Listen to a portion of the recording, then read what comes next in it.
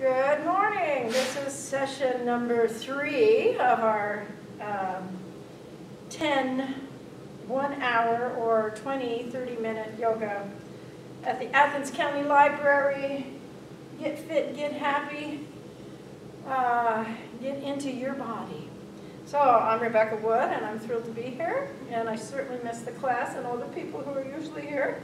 But someday Shelby assures me who is our amazing uh, technical advisor here today, that someday the library will be open again. So we hope. Now Shelby's going to be doing some of these um, in the chair, so we're very excited. Uh, if we get to chuckling, you'll just have to not know what the joke is between Shelby and I. But we're going to have fun with some chair poses, and then again we'll move to review a few standing poses that we did last week, and we'll get down on the ground and do a few more um, on the ground poses. Take a little break, and then we'll do another 30-minute segment. So we'll see how that goes. Again, be safe in your home or your practice space. If you need, if you have slippery floors, have a yoga mat underneath your chair with at least two legs. Uh, some of the props we use, blankets folded neatly. Sometimes you'll have some types of support for knees, ankles, etc. Uh, we have yoga blocks that we might be using and a yoga strap. And today I also have, and I like using these, TheraBands in a variety of classes. I've doubled these up because they're not very uh, strong in their tensile strength, but you can get a packet of a variety of strengths uh, at almost any sports store. And this can very easily work on some isometric type muscle toning very quickly. So we are going to use a little bit of these today in our warm-ups and our standing poses and in our sitting poses. And these are things you can do while you're watching a movie. Uh, visiting with some friends, maybe a few of you want to get together and do some of these activities. Posture is always is core and breath and just personal body awareness. Uh, you can have a water bottle here with you if you would like.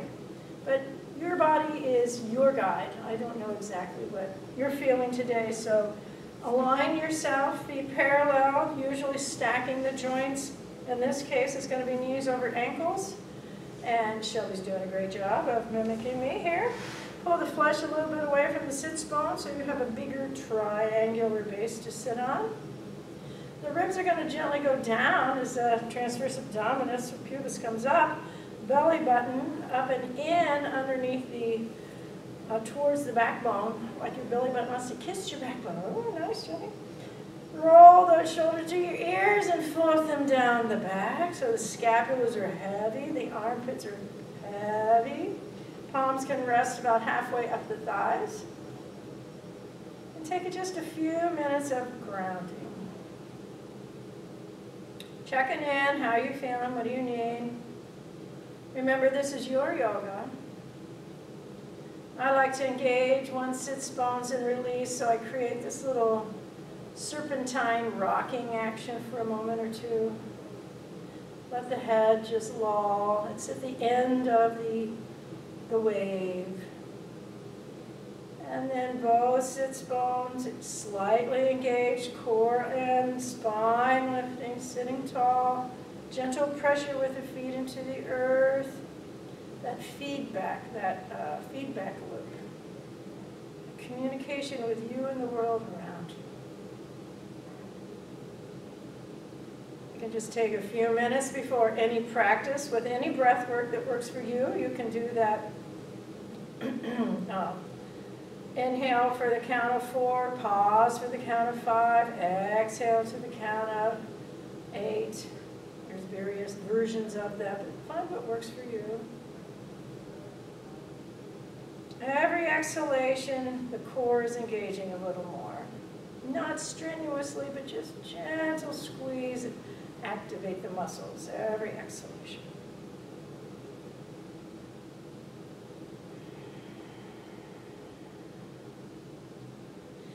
Good. I'm going to start with feet apart. I'm going to do these in a moment. We're just going to stretch out. I'm going to move towards the end of my chair, hands on my knees. And we're going to hope that Shelby won't come crashing through the, the video stand here. But just gonna, we're going to stretch out to the right. Inhale up. And stretch out to the left. Inhale up. Out to the right. So I'm mirroring you. Inhale up. And over to the left. Excellent. Inhale. Gonna walk those feet together. Take the right hand under the right knee, bring the right ankle over. We did this last week. Working on the piriformis, your external rotators of the hips. Doesn't take much of a movement. So lift with the inhalation up and in. Exhale, just gently lean forward, any amount. It doesn't take much to feel uh, that piriformis caution of the knee. If, if it's torquing the knee, let me know or check in, or perhaps this isn't something for you to do today. Inhale, lifting, lengthening the spine.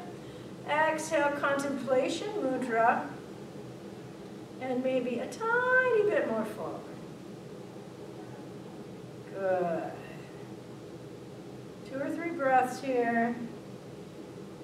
And inhale all the way up, release that right leg, run it out for a moment, move those arms. Inhale up and down. Opposite side, left hand behind left knee, ankle sitting on opposite knee. Might feel very different on this side. We're all very different. We all have issues that we want to work around lift. And if it's possible, just lengthening the spine ever so slightly forward. Hands can be resting on the inner part of the lower left leg for support. But the spine is straight. We're not curving over. Inhale, lift, and if you want to exhale a tiny bit more. And sometimes it's just the idea of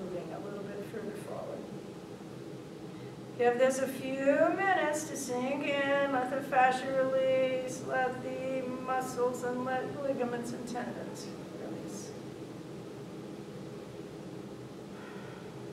And hands supporting the inner leg and up and release. I'm going to do a couple different seated poses today. We're going to come around and be at a, a diagonal in our chair. We're going to drop our hand, our, our right hand arm to our right thigh, pushing the left foot gently into the earth. Float the left arm open so we get a big opening to the world. The whole torso is opening up, palm up, reaching out. Activate those muscles in the arm up into I position with the left hand, and you can look up at that hand if it's comfortable for your neck, reaching through the feet so you're lifting up out of the torso, and even over if you're able into a beautiful Shelby side angle. Breathing, lifting, lengthening. Palm to the heavens, float it up, and take a moment. Check in. You can just circle the neck once or twice, that's just fine. Remember, your body is your guide. We're going to take that left leg and move it all the way to the right. And I'm sitting a little bit out, but I have my back hand on the top of the chair for support if I need. The front leg, we'll just say, is going to drop down. So scooch this outer buttock off if it needs to be there. And we're going to slide that front leg backwards any amount that you can. So the leg is going to be in front of the chair leg, Shelby. Good. So you're not going to get stuck in the chair. Walk that front foot as close to under the ankle as you can get and gently move the hip points over the bent back leg. If you need the stability of the chair, you have it. If not, reach the arms down Up and reach through that back heel. We're doing seated warrior one, Virabhadrasana one. Inhale, reach up. Exhale, scissors, yes. Shall we go float that top arm, the front arm back and the back arm forward to seated warrior two. Palms up, inhale up, spin back around to warrior one, left, and here we go to a seated warrior three. We're going to reach forward as we extend the back leg and bring our torso over the front thigh. Beautiful. Pushing gently through the front leg. Inhale up, bending back leg. Exhale, warrior two. Swoop the arm down so we can catch the back leg.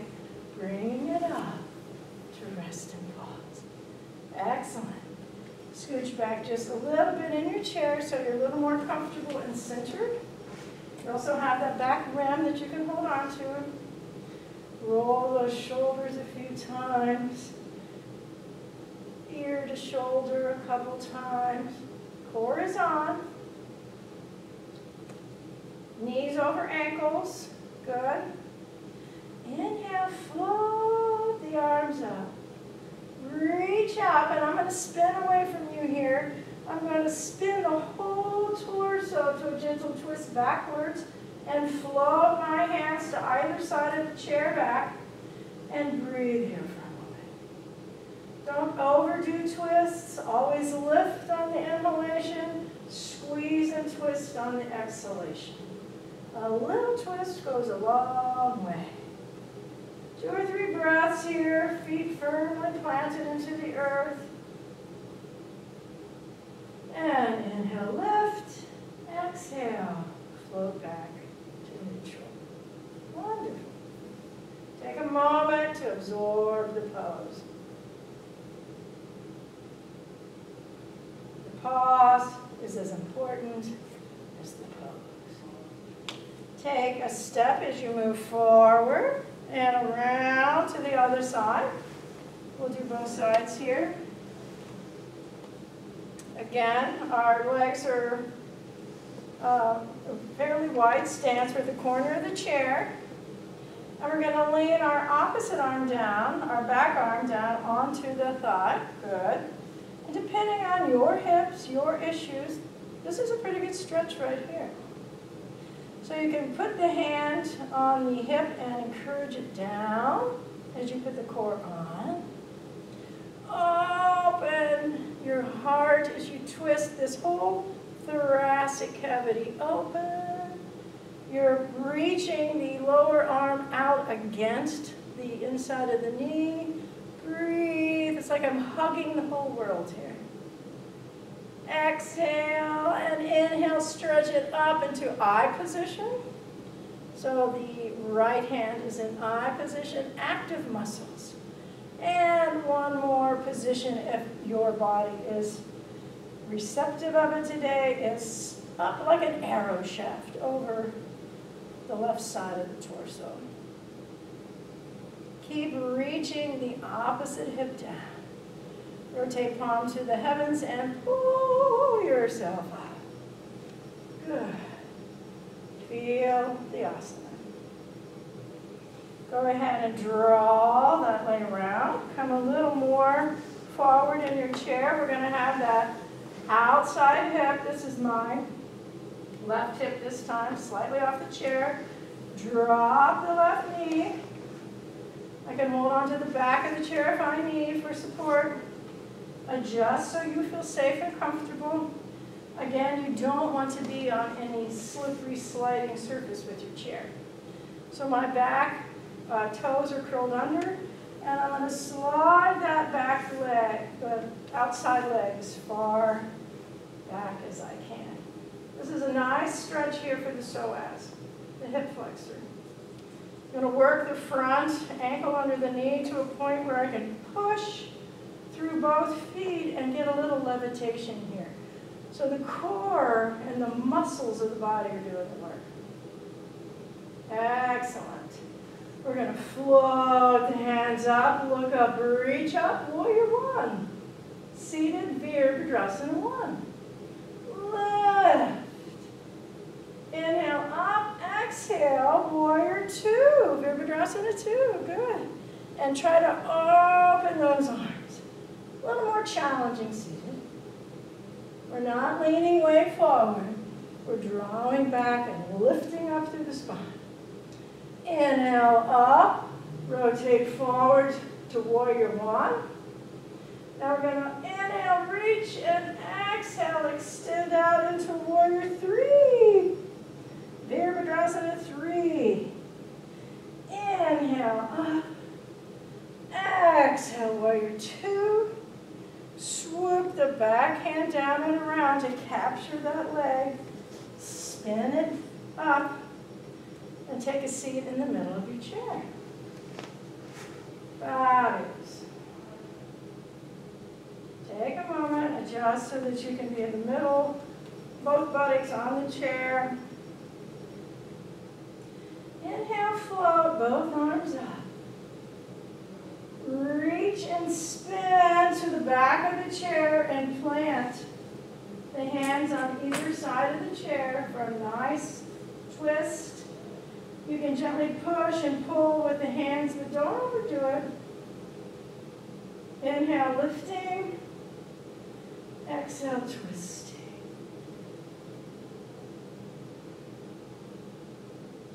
And inhale. Exhale, float back to neutral. Take a moment and pause.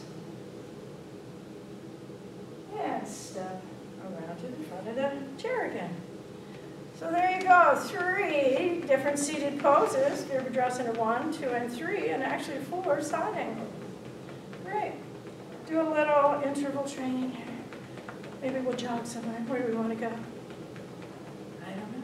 There's so, it's so beautiful here right now. So getting the arms pumping, getting the cardiovascular system working, and you can do that for a minute or two. You'll be surprised how you can get your heart rate up. So you can do this with one uh, TheraBand, but these are pretty wimpy. so I'm going to do two, and I'm going to rotate them around my hands so I don't have to hold on. Holding on if you have arthritis or joint problems may be a problem. So you can just roll and have the hands flat if you need. I'm going to adjust it so it's about shoulders width apart. And this is a lot more work than you think it may be. So I'm going to drop the shoulders down my back. You could do these standing and sitting and laying down, even in bed. So no excuses not to get your isometrics and your, training workout in. So right here is good work. Lifting the core, ribs going down, transverse abdominis up, and I'm going to pulse one, two, three, four, five, six, seven, eight, and relax.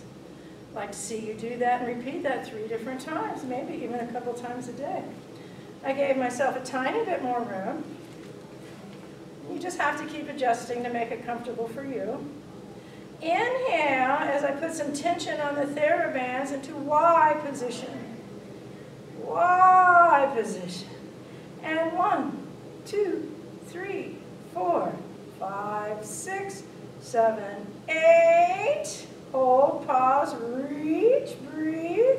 Activate the muscles in the arms and draw it down the back. So now we're working the lats and down the front. My spine is straight.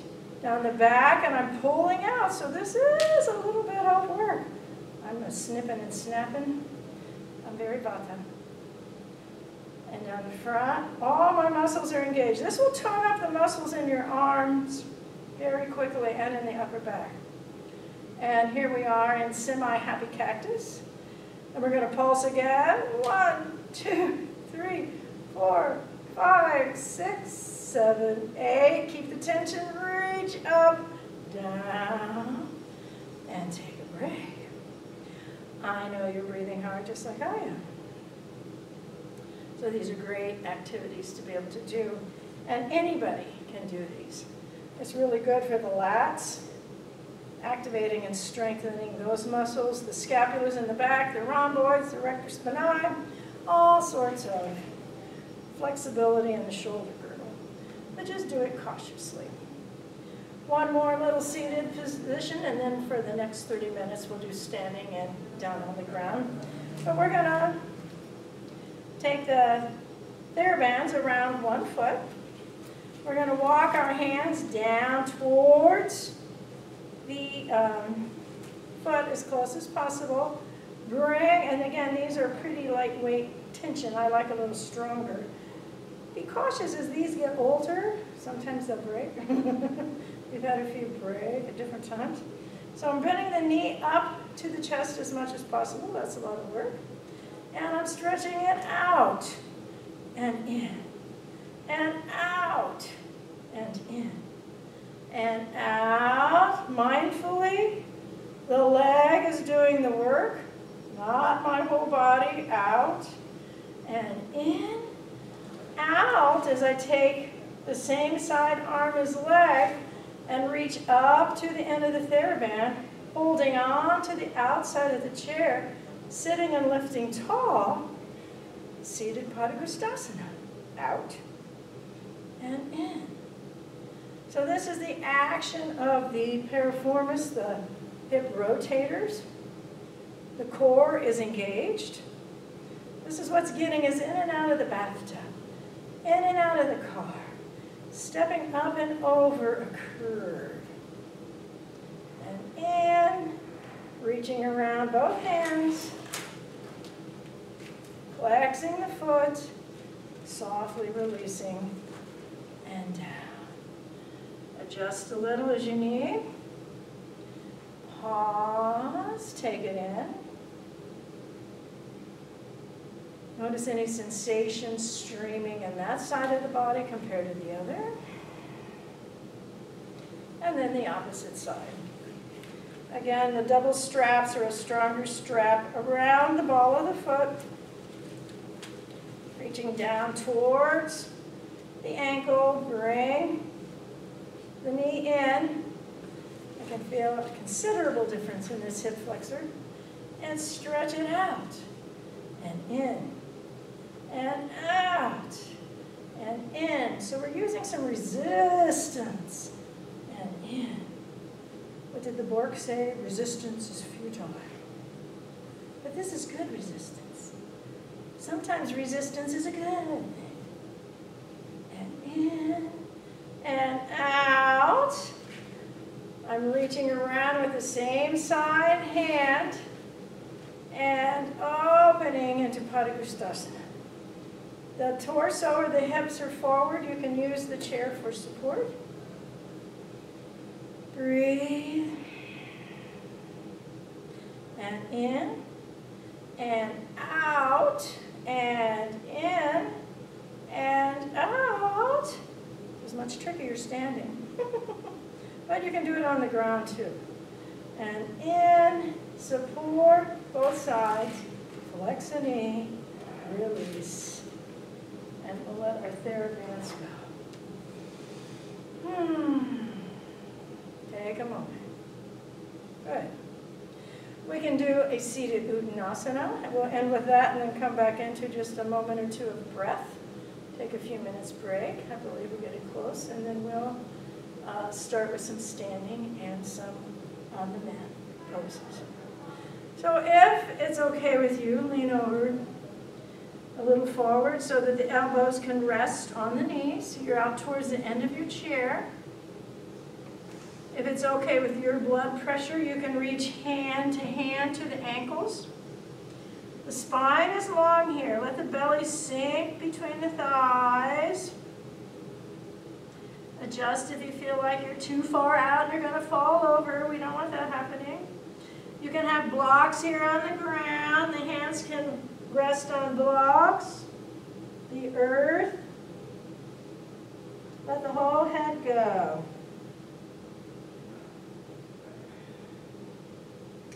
You can even clasp the elbows and hang.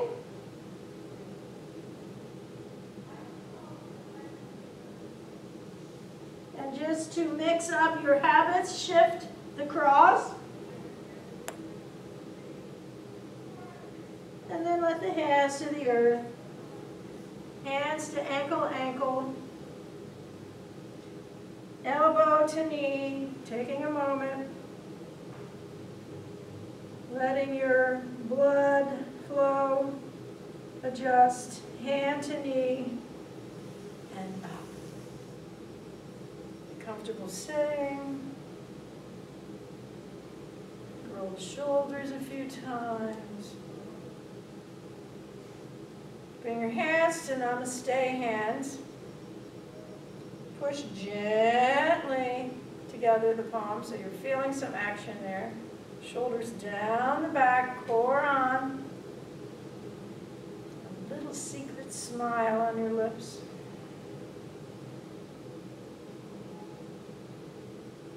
You're going to feel the breath of life underneath our forearms. Your breath. Unique you. It's the first thing that you experienced when you were born. That big inhale.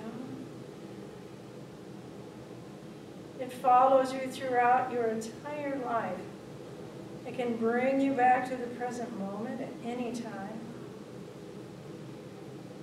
You can feel it when you're anxious or in fear, but with some breath control and breath work, you can allow your breath to work for you in calming you down and creating stress resiliency and activating the vagal nerves.